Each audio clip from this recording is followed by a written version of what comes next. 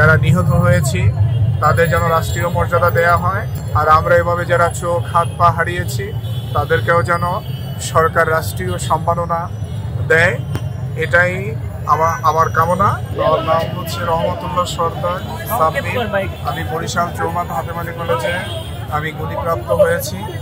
সেখান থেকে আমি রাত তিনটার দিকে বরিশাল বরিশাল থেকে ঢাকা এসেছি। এখন বর্তমানে আগারগাঁও চোখ হাসপাতালে ভর্তি আছি। আমার চোখের অবস্থা ভালো নয়, আমার চোখের মধ্যে এখনও গুলি আছে। তো এখন এই অবস্থায়ও আমি আসলে হাসপাতালে বেড়ে থাকতে পারিনি।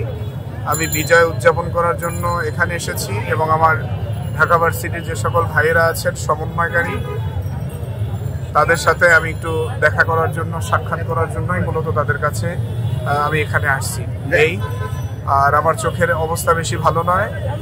এই জন্য আমি একটু বলতে চাই যে সেনাবাহিনীর প্রধান আছেন এবং আগামীতে যারা সরকার প্রধানে আসবেন, তাদের কাছে আমার একটাই দাবি, আমরা যারা এভাবে যারা নিহত হয়েছি, তাদের যেন রাষ্ট্রীয় মর্যাদা দেয়া হয়, রাষ্ট্রীয় সর্বোচ্চ মর্যাদা দেওয়া হয়।